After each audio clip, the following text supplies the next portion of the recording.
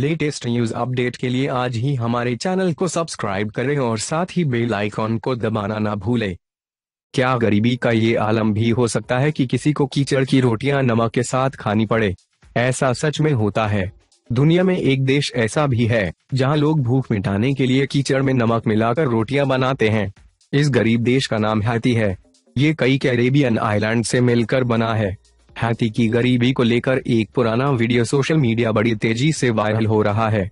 हाथी की गरीबी को लेकर एक पुराना वीडियो सोशल मीडिया वायरल हो रहा है। टीम इंडिया के पूर्व खिलाड़ी वीरेंद्र सहवाग ने ट्विटर पर एक वीडियो पोस्ट किया है। वीडियो देखकर आपको अंदाज़ा लग जाएगा कि हाथी में आखिर लोगों के क्या हालात हैं।